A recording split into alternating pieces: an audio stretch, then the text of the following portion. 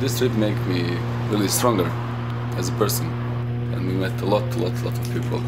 Some crazy people, some crazy genius, some stupid people. And but we had fun with all of them.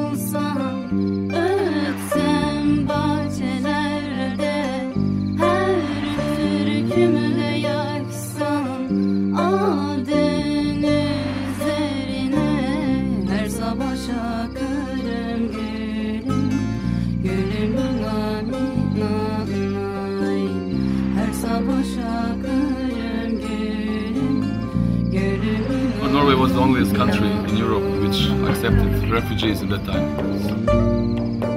When I come here, I was nothing anymore. I was just refugee. It was strange. Like my best friend is my teacher. He's very informal uh, style anyway in the university. I'm exciting to see another experience. That's a travel.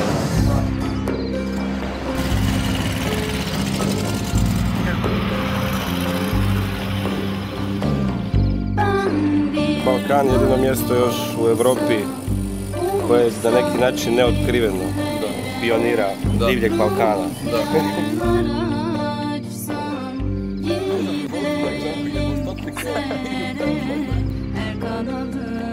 In whole our school, the, the most intelligent guy. Ne? On the other side, he was every evening out drinking, smoking. Maybe we didn't make so great music, but we had some great times.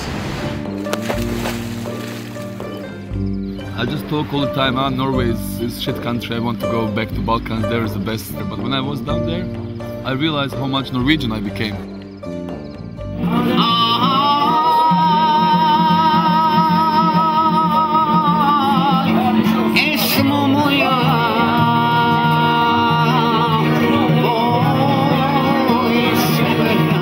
This town was like uh, divided during the war. It's still divided, which is not visible like the wall in Berlin.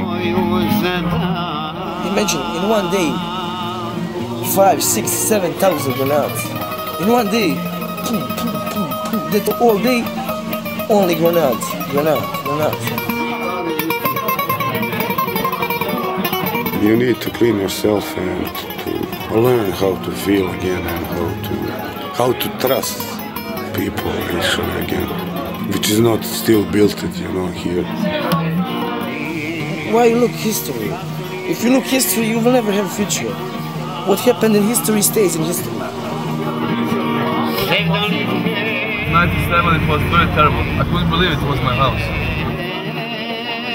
I felt like somebody like stole my childhood.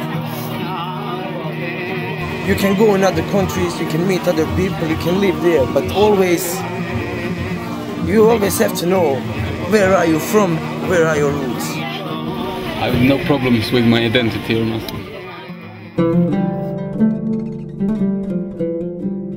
It was my old dream to come here and uh, sail down the river by boat. It was my dream for last 30 years maybe.